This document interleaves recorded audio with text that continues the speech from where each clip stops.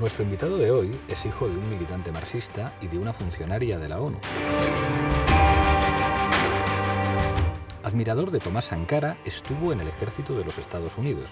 Después estudió economía y además de todo esto, jugaba al baloncesto. En otra vuelta de tuerca, Sitafa Sabane.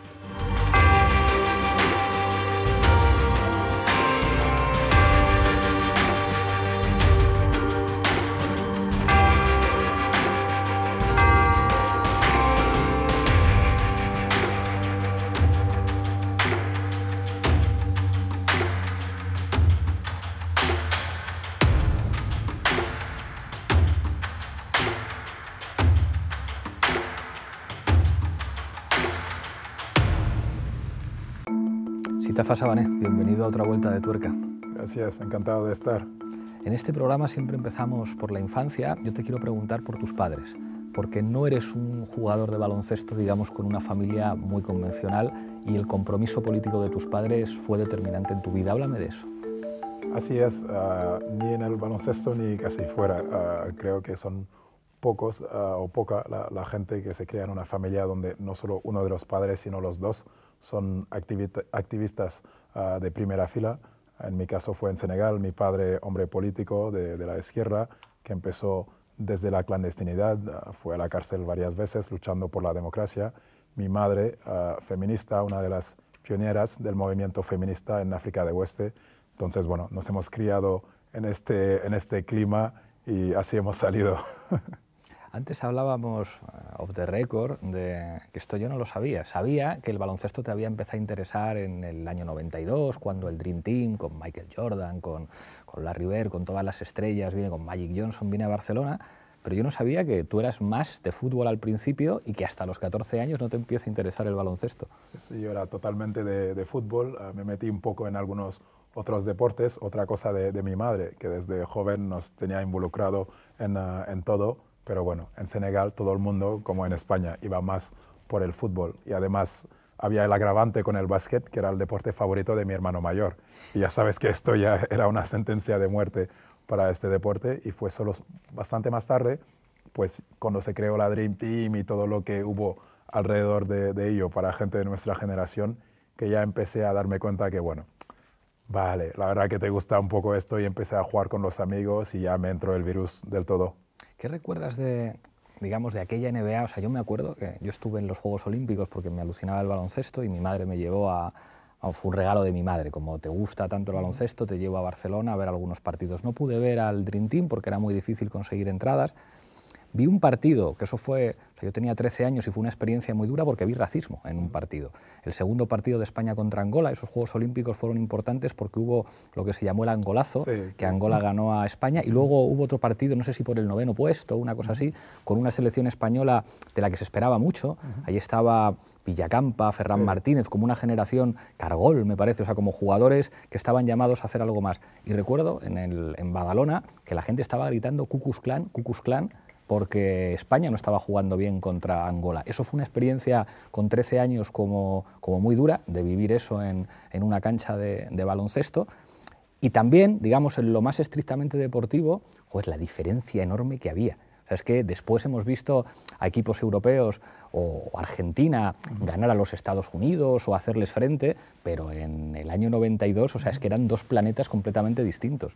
Sí, sí, así es. Bueno, primero, la, primera parte que tocas, eso del racismo en el deporte, siempre digo, pues el racismo está en la sociedad y el deporte está en la sociedad, pues no se iba a librar. Además hay el agravante que se utiliza como manera de intentar desestabilizar al jugador de, otra raza. Piensas, bueno, ¿qué puedo hacer para que falle un tiro o falle un tiro libre? Pues si le digo esto, desde luego, pues le voy a, sacar de, de ello cosa muy triste porque va totalmente en contra de los valores del, del, deporte. Y bueno, yo he tenido hasta que llamar la atención a algún aficionado de mi equipo que lo hacía a uno del otro equipo, para que veas la falta de coherencia que tiene detrás. Digo, me estás mirando, o sea, tienes al más negro que te has encontrado en tu equipo, me, me amas y luego eres capaz de decir esta cosa en este momento. ¿Por qué? Para intentar ganar un partido de básquet. Yo creo que tu alma uh, se merece más que esto. Y cuando me he enfrentado a gente en esas situaciones, me he encontrado que no era necesariamente, de hecho, en la mayoría de los casos no era gente racista, pero había mucha ignorancia ahí. Y esto ya, bueno, igual lo, hablaremos, pero bueno, en mi experiencia en España me he encontrado muchísimo de esto, de, algo que podía parecer en un principio solo racismo y detrás hay mucha ignorancia. Y esto me ha dado a mí esperanza y lo he tomado un poco como una misión pues de luchar contra esta ignorancia, porque el racismo puro y duro pues no lo voy a poder quitar yo, pero por lo menos la parte de ignorancia creo que ahí mucho podemos hacer una de las cosas que me alucina de tu vida son las paradojas, es decir, hijo de izquierdistas africanos comprometidos y jugaste en el ejército de los Estados Unidos. Eh, cuéntame esto y me han contado también que tienes alguna anécdota con Jimmy Carter y con Bill Clinton. Sí, efectivamente. Bueno, ah, yo me viví en Ginebra, te lo mencionaba antes, por el trabajo de mi madre en aquel entonces con, con ACNUR. Luego nos fuimos a, Nueva York, donde trabajaba en la sede de, de Naciones Unidas y cuando llegó el momento de elegir uh, universidad donde ir, ya estaba muy metido en el básquet. Ah, lógicamente los estudios siempre eran lo primero en, en, nuestra casa, pues quería juntar las dos, ¿no? ir a una muy buena universidad a nivel académico, pero donde también pueda seguir jugando al baloncesto y, disfrutando de ello. Ahí se presentaron bueno, varias opciones de las famosas Ivy Leagues como Harvard, Columbia y demás. Y luego también se presentó la opción de la, de la US Navy, de la Academia Naval, que creo que ahora mismo en los rankings es la mejor universidad pública a nivel académico en Estados Unidos. Entonces, al principio, pues imagínate la reacción en mi casa. La última vez que traté a militares vinieron a mi casa a, llevar, a llevarse a mi padre a la cárcel. Pero fue mi propio padre el primero que me dijo, pues deberías planteártelo. Y me sorprendió un poco, pero luego como me recordó tu abuelo, estaba también, eh, era también un, militar. O sea, yo no tengo nada contra los militares. Los militares que me han llevado siempre venían recibiendo órdenes de arriba y pidiéndome disculpas porque tenían que hacer su trabajo. Entonces tú no deberías tener este resentimiento hasta el militar. Como cualquier otra profesión, lo sabrá pues que piensan de, cualquier manera. Y el militar o el servicio militar, desde luego, creo que te puede dar muchísimo en tu formación. Ah, yo ya Ah, hablaba mucho de tener interés en, seguir sus pasos en la política algún día y me dice, pues si piensas entrar en la política, esto te vendrá de perla a la hora de encontrarte, ah, de encontrar disciplina, de encontrar, bueno, de tener algo más dentro, porque son batallas muy duras que te vas a encontrar si entras en la, en la política. Entonces, bueno, ahí era una cosa convencerme a mí, pero mi madre, que es la que manda en esta casa, era otra cosa. Ella estaba totalmente en contra al, principio y esto cambió por Jimmy Carter porque ah, coincidían ah, en, algún consejo de administración de algún organismo de, la ONU. Jimmy Carter cuando había visitado Senegal en el 93 ah, creo, había venido hasta nuestra casa porque tanto bueno, se suele ver al gobierno y también a los opositores. Entonces, bueno, dentro de esta gira vino a nuestra casa y nos conoció y siempre, bueno, muy buen hombre, preguntaba bueno, ¿qué tal los hijos y tal? Y mi madre dice, pues eh, el más pequeño, el que conociste en, eh, en, Senegal, está en el momento de elegir a qué universidad ir. Y nombrándole las posibilidades, nombra la Navy. Y resulta que Jimmy Carter se graduó de la Academia Naval. Y le salió la, la vena de, de, reclutor y le, le, habló mil maravillas a mi madre sobre ello. Y ella, que tenía eh, muy bien a Jimmy Carter, pues ver que alguien como Jimmy Carter ha salido de ahí ya quitó un poquito esta parte demonizada ah, de la Academia Naval. Y a partir de ahí, pues fue todo rodando y, y después de pensarlo mucho dije, oye, mm, es un reto, porque por el otro lado podías ir a la típica universidad americana con las fiestas universitarias y demás, pero si dices querer ir en una cierta dirección en tu vida, tienes que estar dispuesto a, hacer un poco el peaje y formarte por ello. Así que... ¿Cómo fue la experiencia, digamos, de de un chico africano al mismo tiempo con una experiencia de unos padres muy cultos, con mucha preparación política, jugando al baloncesto en, Estados Unidos allí. Y te quiero preguntar porque creo que Bill Clinton elogió, te elogió alguna vez porque ya se hablaba de ti, de que jugabas muy bien al baloncesto. Sí, sí, la verdad que bueno, era una serie de casi contradicciones, ah, desde luego, para los americanos, porque lo primero que te encontrabas era un chico africano, que para un americano medio, no me gusta generalizar, pero no, nos entendemos, África es un país. Ya no había más detalle, ya es africano, ¿vale? Y esto significa, bueno, vino de la jungla ah, y, de hecho mis compañeros de la universidad, cuando salíamos por ahí, se aprovechaban de mí para ligar, porque contaban que era como el príncipe de Zamunda, de la famosa película de Eddie Murphy, que tenía, bueno, ah, sí, tiene un pet lion, tiene un leo así como mascota, como mascota en, en, casa y demás, y la gente se lo creía. Entonces, para la gente, claro, ellos te veían como, ay, el pobre africanito que tenemos aquí, qué bien, casi como labor social, y cuando abrías la boca empezabas a hablar en su idioma muchas veces mejor que ellos y te escuchaban los conocimientos, pues se quedaban un poco sorprendidos. Y Bill Clinton, pues leo una entrevista mía que me hicieron en el Washington Post, hablando tanto de baloncesto como luego de política, de la situación política en África y demás, y mis planes de futuro, y me mandó una carta. Entonces, imagínate, yo voy un día a entrenar en la, y me paso por la oficina de, de baloncesto, me dicen, ¿tienes una carta aquí de la Casa Blanca? Y yo pienso, ja, ja, ja, vaya broma, oye, tengo que entrenar, no tengo tiempo que perder. Y efectivamente era una carta de, Bill Clinton diciéndome que había leído el artículo, que le había gustado muchísimo y que bueno, me animaba a seguir con, con mis planes en esta vida y me deseaba muchos éxitos. Tu experiencia en el baloncesto en España está marcada sobre todo por un club, que es el Gran Canaria. Eh, allí eres un mito. O sea, sé que es muy difícil sintetizar, creo que son nueve temporadas las que estuviste allí, nueve temporadas en unas pocas frases, pero ¿qué contarías de, esa experiencia en el Granca? Bueno, lo, resumo con una frase, eh, amor correspondido. Ah, creo que es lo que, lo que ha sido, es algo que no pasa mucho y menos para los jugadores que vienen de fuera, estar tanto tiempo en un club ah, a nivel de, de, baloncesto.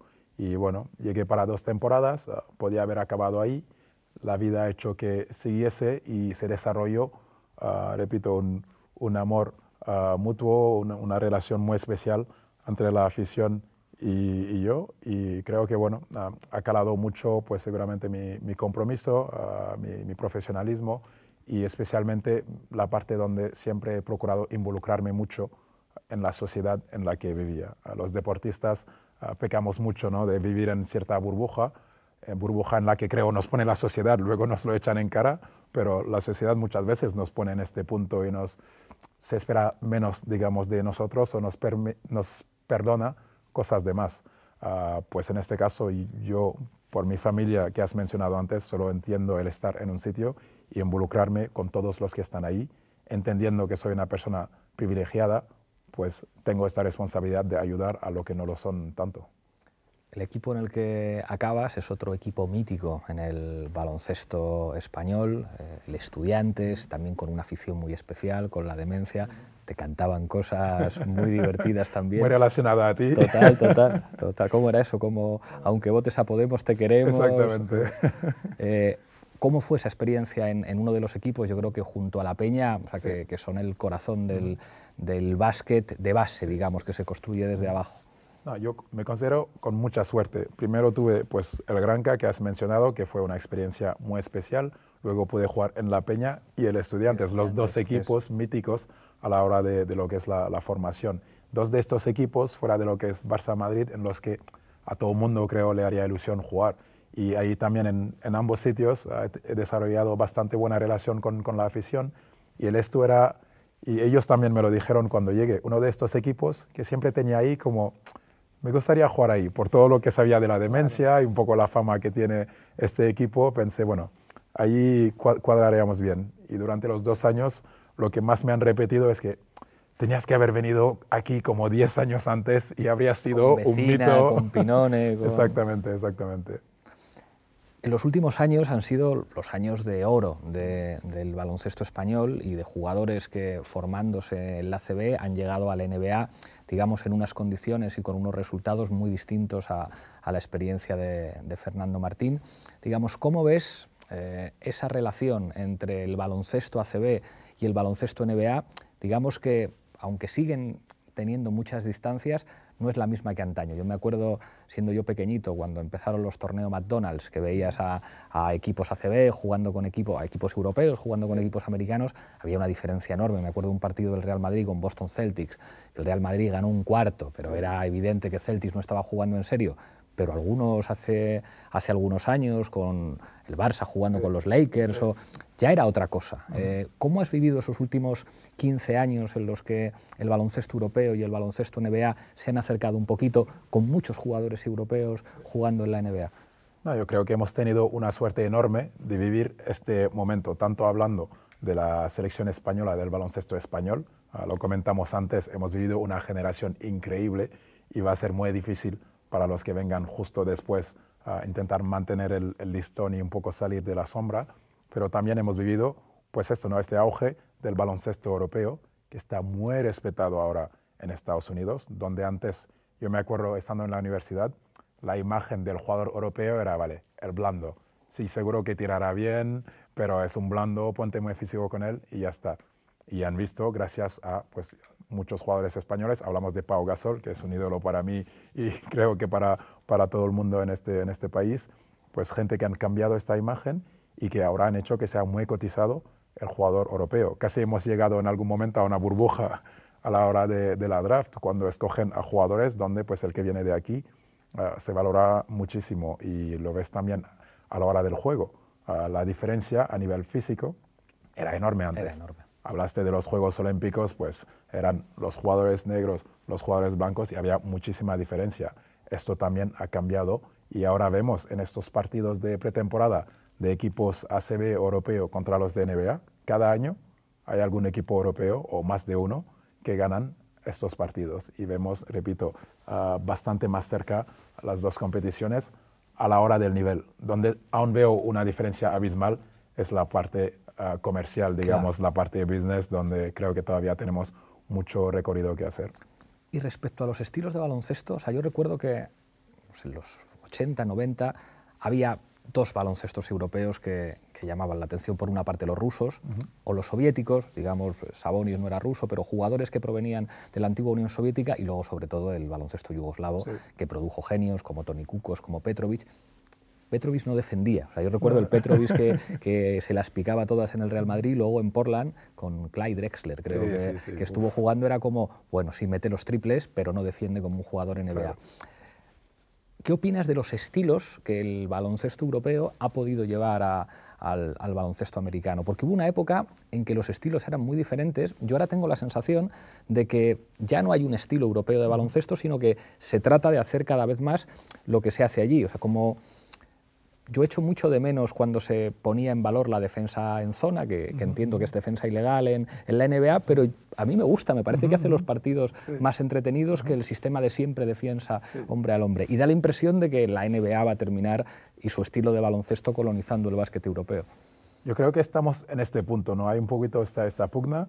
Ah, yo creo que los dos estilos han influenciado mucho uno a, otro, ¿no? O sea, cualquier personalista lo que hace es mirar por otro lado e intentar escoger las cosas que te pueden servir. Ha pasado en la NBA, de hecho ahora hay un tipo de zona que, que te permiten, ¿no? no es como la zona de, de, aquí, pero bueno, se permite y tampoco es que se use tanto porque es un, un estilo diferente. Aquí en Europa, bueno, a mí siempre me ha llamado más, ah, como decías, ¿no? esta riqueza táctica que hay aquí. Ah, se defiende más, para empezar, en Europa. Hace poco decía Luka Doncic, sí, sí, pero es que es mucho más fácil anotar en la NBA que aquí. Y de hecho, a lo largo de mi carrera hemos visto a cantidad de jugadores americanos que venían con buen cartel, que han venido a Europa y nada, porque ahí la defensa normalmente es uno contra uno y todo abierto y puedes superar al tuyo, puedes anotar. Aquí superas al tuyo, siempre a menos que haya un error garrafal, habrá otro más, otro. más y otra situación. Es increíble. Yo recuerdo unas declaraciones de, Jiménez cuando jugaban contra, jugaron contra Estados Unidos, que el jugador americano le decía nunca me habían defendido, me habían defendido así. Así es. Y de hecho, a mí se me hace difícil ver partidos NBA durante la temporada regular. Te lo tengo que, que Porque no hay tensión. Porque pues. es, es la sensación como profesional. O sea, al final, más que disfrutar de la acción ofensiva, veo, digo, ya, pero me gustaría ver esta acción contra un poquito más de defensa, la que sí ves en los playoffs, lógicamente, y cuando las cosas se ponen en serio. Pero hay algunos highlights que veo, bueno, yo de noche ya me, cuesta ver los partidos, pero por la mañana de lo primero que hago es ver las noticias y ver los highlights de la, de la NBA. Y hay algunas acciones que dices, bueno, si, si ponemos un cono ahí defendiendo, es un poco lo mismo. Es un poco lo mismo. Hay una decisión que yo creo que tiene algo de política que tú tomaste, que fue defender los colores de Senegal para asegurar además, ayudar a que la selección de Senegal estuviera en un mundial y tú estuviste en, 2000, en 2006. ¿Cómo es esa experiencia y esa decisión? Porque tú hubieras podido aspirar a jugar en la selección española que bueno, o sea, es como aparentemente tiene un cartel mejor que el de Senegal. y Acabaron ganando aquel mundial. Efectivamente, y sin embargo decidiste, no, no, no, voy a ayudar a Senegal.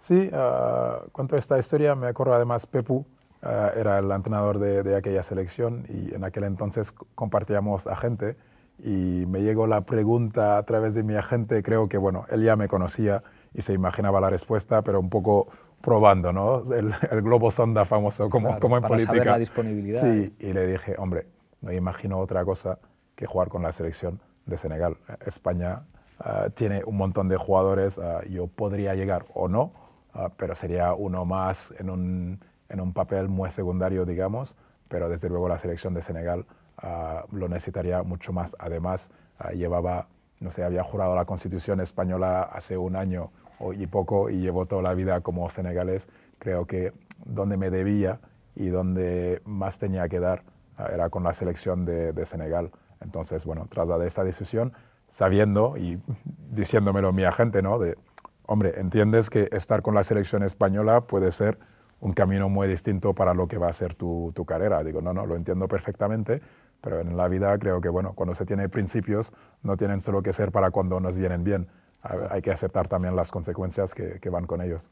¿Cómo es la experiencia de, un mundial? Porque yo supongo que eso no tiene nada que ver con jugar en un club, con jugar en una... nada, nada. Además nos ha tocado un grupo con Estados Unidos, con LeBron James y company, ah, con la China de, Yao Ming. ¿Cómo es eso? Ah, eso de... La primera vez, imagínate, el momento de venir de un entrenamiento y, claro, estamos todos en el mismo hotel de, de concentración. Entras en un ascensor, estás con LeBron James aquí, con el otro, o sea, media selección de Estados Unidos, y teníamos varios en la, nuestra que, bueno, se, los conocían, entonces había bastante relación. Y también hay un poco este punto, bro, que, bueno, tenían quizás eh, esta cosa con la selección africana y llegamos muchas veces a hablar de tú a tú con gente que tú admiras y tienes ahí. Y siempre tengo recuerdo, ¿no? De mientras, no sé, me contaban cualquier cosa en mi cabeza casi ni les escuchaba porque estabas pensando, en serio, tío, estoy aquí hablando con LeBron James y yo me corto mucho en, estos momentos y de lo que siempre me arrepentí fue, ¿por qué no estuviste ahí sacando 20.000 fotos, en cada momento? Pero en aquel entonces no había aquello de ahora, ¿no? De, sacar el, móvil y, sacar tantas fotos. Pero bueno, preferí quedarme con, con la memoria aquí y la, y la vivencia. Hay una pregunta que yo creo que se le hace a, cualquier jugador de baloncesto que no haya jugado en la NBA, que es ¿en qué equipo de la NBA te hubiera gustado jugar o con qué jugadores te mm. hubiera gustado compartir camiseta? Hombre, yo por época en la que me metí en el básquet, los Chicago Bulls, lógicamente justo les pillé en, ah, en aquellos años increíbles y bueno, las primeras veces ¿no? de quedarte la noche a trasnochar para ver un partido de básquet, cosa que no entiende nadie que no sea de básquet. Porque imagínate, ahora a nuestra edad explicando a tu mujer, tú con los niños en casa, que sí, sí, voy a estar hasta las 3 de la mañana porque estamos en los playoffs y está el partido, pero los que lo hacen ah, entienden el, el, sentimiento y ahí me enamoré de Michael Jordan, del baloncesto, de los Chicago Bulls, y si hubiese podido jugar un solo minuto con la camiseta de los Chicago Bulls, creo que es, es lo único que cambiaría ¿no? de, de mi carrera. Hay una cosa que, es muy complicada para cualquier deportista, que es las lesiones. Tú has vivido por lo menos dos lesiones graves, una en el talón y una eh, parálisis facial. Ahí yo creo que es donde tenéis que demostrar algo que tiene tanta importancia como el entrenamiento, como la preparación, como la virtud jugando, que es la dureza mental, de sobreponerte a, una lesión que puede ser un antes y un después en tu vida. ¿Qué dirías a, alguien de 20 años menos que tú, digamos, de la experiencia de lo malo, de la experiencia de la lesión, de afrontar todo eso?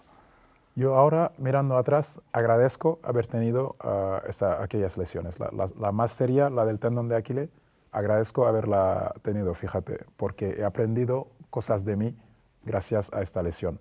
Ah, me llevo atrás aquellos tiempos en la Academia Naval donde desperté muchas mañanas pensando, no puedo, no voy a ser capaz, voy a tirar la toalla, mañana llamo y me voy de aquí. Y seguí, seguí, seguí, y cuando ya llegas al final, es como la sensación que cuentan los que corren maratones, ¿no? que pasas el momento que no te ves y al final llegas y hay esta euforia. Me pasó lo mismo con, con la lesión. la lesión de tendón de Aquiles me llegó con 32 años yendo a 33. Para un deportista profesional que se supone que ya estás empezando los últimos años, yo era siempre el pivot bajito, pero que era muy bueno físicamente y te cortaban esta parte de exuberancia, de salto y todo el mundo dio por hecho que se había acabado. Y aquello de tú ser capaz de bloquear todo lo de fuera, bloquear lo que desde dentro también las voces que te salen y te dicen, tío, igual, oye, ya has hecho mucho, has llegado hasta aquí, se acabó.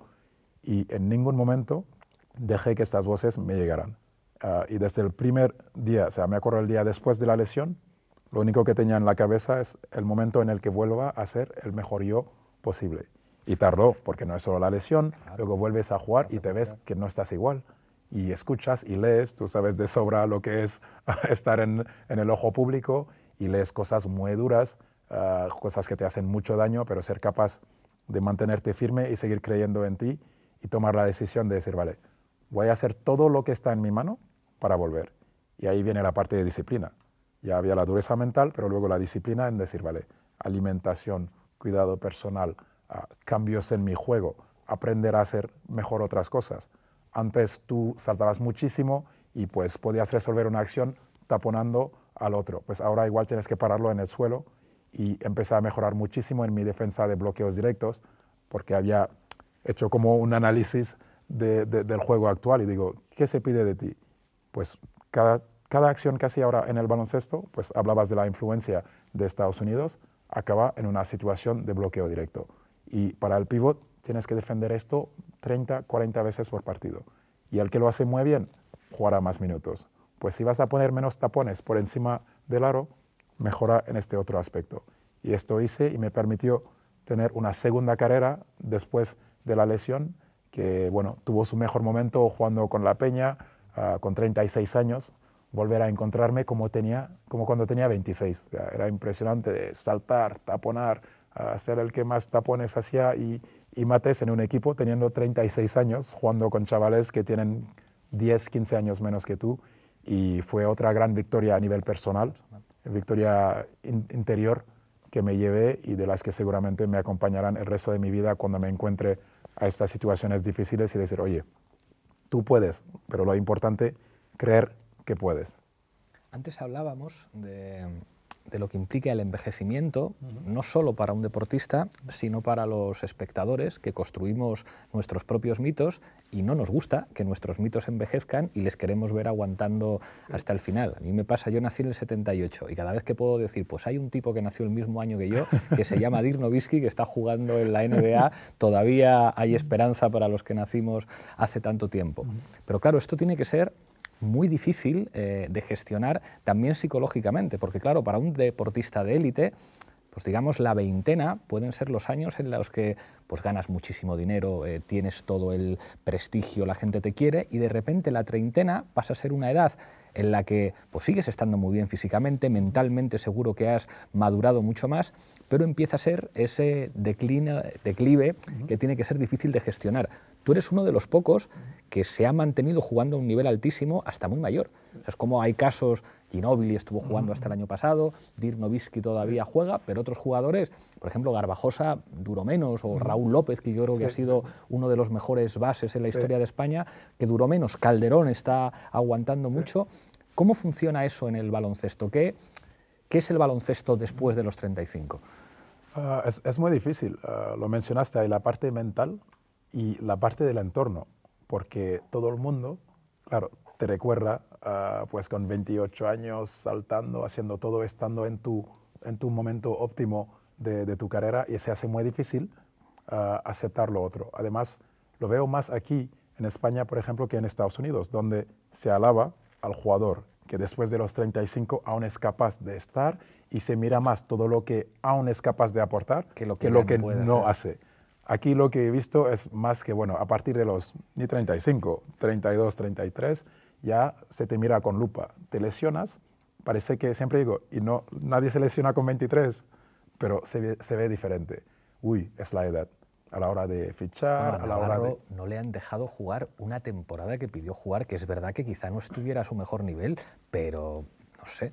Exactamente. O sea, y siempre digo esto, si esto ha podido pasar con Juan Carlos Navarro, que es Dios. El mejor libra por libra que se ha visto ah, en España y casi en el mundo, pues imagínate todo lo demás. Pero es la realidad que hay y es un gran error, porque nos dejamos llevar por el DNI, por la fecha que pone ahí, cuando sabemos todos que no son no es lo mismo 35 de uno que de, otro, por las lesiones, por cómo se cuida, por lo que tiene en su cabeza, por, el deseo que por la propia genética, por el deseo que pueda tener y no no cogemos caso por caso, sino generalizamos mucho y creo que ahí hacemos mucho daño. Y tampoco, pues hablas del, caso de Navarro. Creo que nos falta ah, tener esa parte de reconocimiento a nuestras leyendas. Alguien como Navarro se merecía decidir y da igual. si dice un año más, como si dice dos, por todo lo que ha dado al Barça, al baloncesto en general, pues que esté ahí. Yo entiendo que hay un entrenador también en el momento que está, que tomará sus decisiones y el club es difícil, ¿no? Tienes que, bueno, separar las cosas, porque si te empiezas a meter en la decisión del entrenador, pero también ahí hablamos mucho de esto, el club está por encima de, pues el club está por encima de, el club ha de dar un paso adelante mm. y decir, oye, esta persona significa esto para este club, tiene que estar, usted se arregla, pero no pasa. Total. Te quiero preguntar por el básquet femenino. Eh, aquí yo creo que ha habido una invisibilización permanente. Eh, lo vemos también en el fútbol, o sea, como jugadoras profesionales de un altísimo nivel tienen dificultades para llegar a fin de mes. Tengo la sensación de que está cambiando un poco y, el hecho de que empiece a aparecer un poquito en los medios, yo como espectador siento que me empieza a interesar más. Me alucinó eh, eh, Laia Palau, o sea, increíble. Y luego además su actitud política y no sé qué. Hace poco he descubierto una jugadora que está en Estados Unidos que se llama Marta Hermida, que también le he visto hacer cosas increíbles. ¿Qué futuro le ves al básquet femenino que yo creo que puede ofrecer espectáculo y sensaciones incluso más potentes que, las que ofrece el básquet masculino? Yo creo que sí, pero lo que pasa tanto en el básquet femenino como el deporte femenino, casi en general, ah, es esta invisibilidad que has mencionado.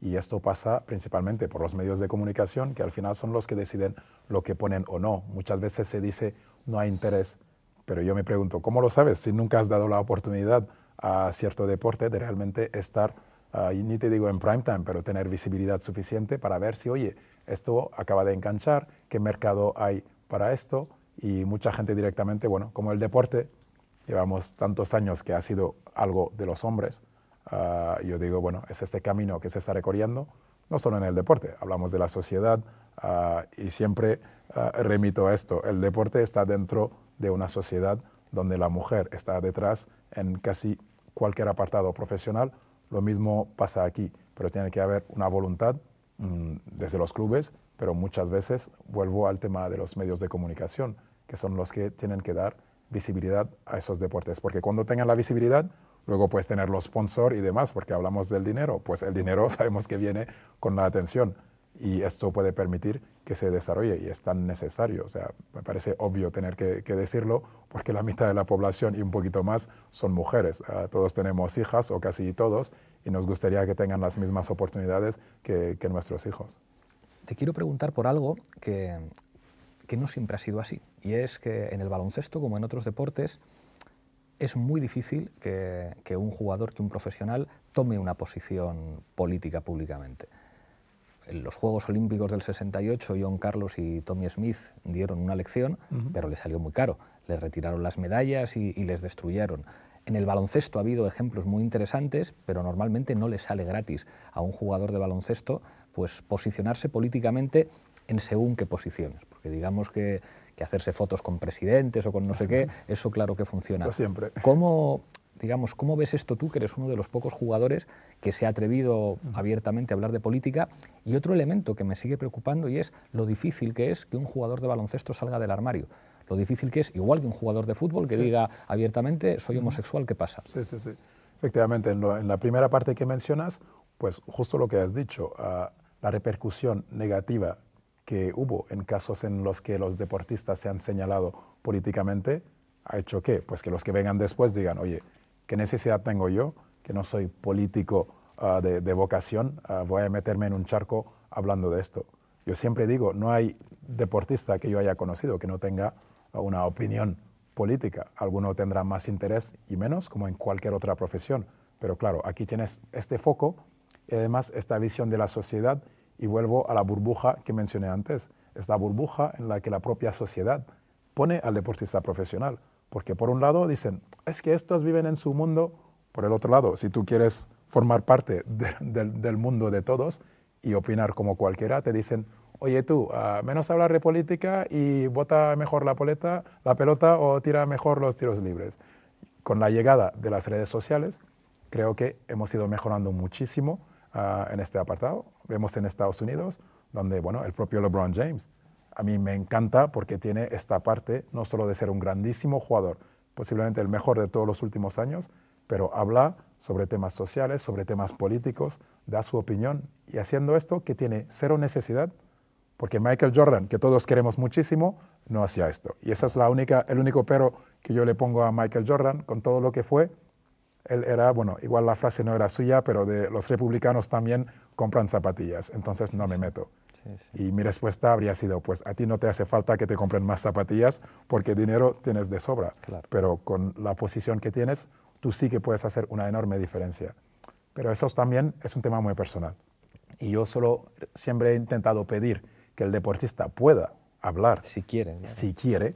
No obligo a nadie a hacerlo públicamente. En todos los vestuarios en los que he estado hemos hablado muchísimo de política, viajamos un montón de horas, hablamos muchísimo de política con los españoles, con los americanos, cuando los he tenido al lado, pero que cada uno elija hacerlo, porque el que lo haga pueda hacerlo.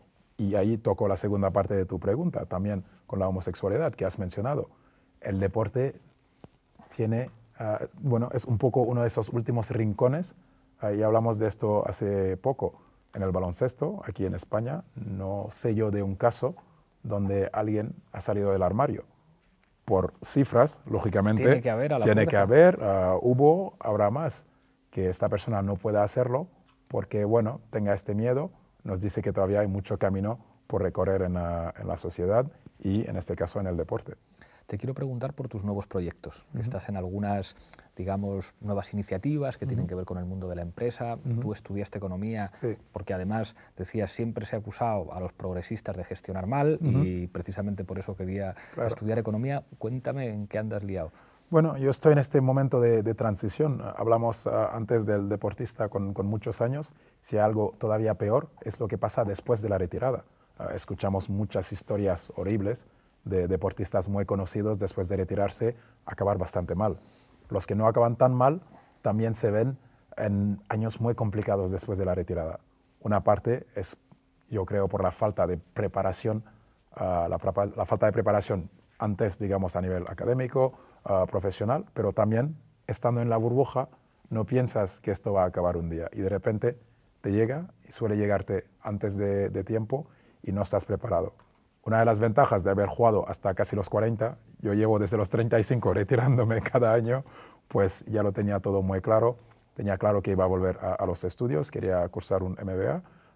la parte empresarial, pues por aquello que, que mencionas, siempre me había llamado la atención porque yo siempre digo, bueno, a mí me ha interesado muchísimo la política porque me he criado en ella, entonces en las ciencias políticas lo tenía en casa desde que era un, un crío. Lo que quiero aprender es cómo gestionar si algún día doy el paso y estoy en esta posición, además sabiendo esta acusación siempre de la izquierda no sabe manejar. Pues que miren a Madrid y otros sitios, ya creo que el que quiera datos puede ver que, que, que, no es el caso, pero muchas veces no, no interesa. Entonces, lo primero que quise hacer es volver a los estudios ah, y también involucrarme más en la parte activista. Ah, yo creo que estamos viviendo unos momentos muy complicados en España. Ah, yo durante los últimos 18 años, desde que llegué aquí viajando, siempre he podido presumir de estar en España donde no había un partido de extrema derecha en las, en las, instituciones. Y esto me acuerdo de estar en Senegal, en Estados Unidos, y siempre el mantra que, que soltaba con muchísimo orgullo. Ah, para mí esto es el patriotismo, ¿no? poder presumir de, tales cosas. Pero por desgracia ya no es el caso.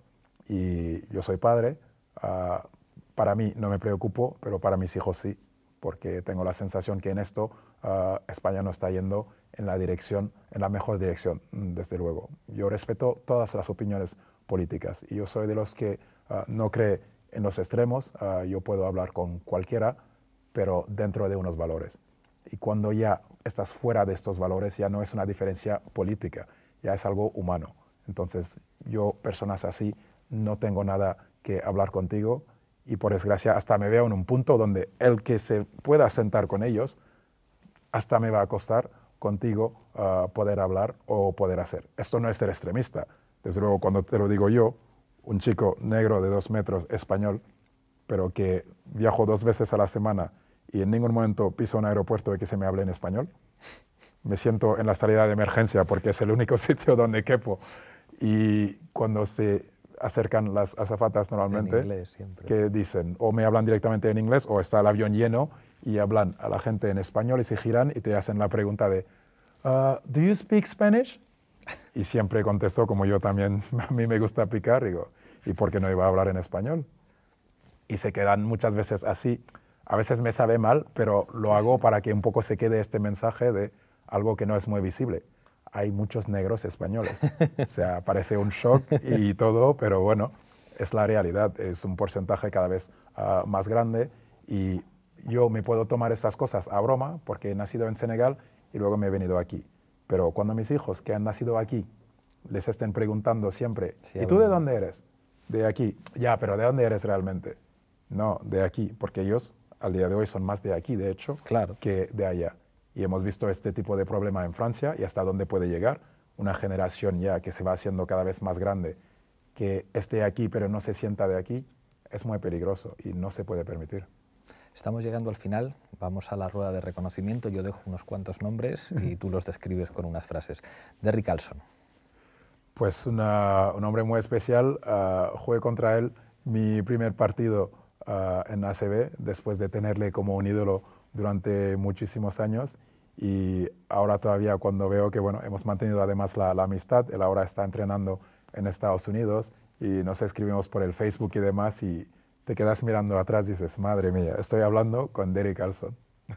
Salva Maldonado. Pues alguien muy especial en mi carrera, el entrenador con el que más he jugado y del que he aprendido muchísimo, con el que he desarrollado una relación no solo profesional, sino personal. He aprendido de él de baloncesto y fuera de baloncesto. hablamos muchísimo de, política.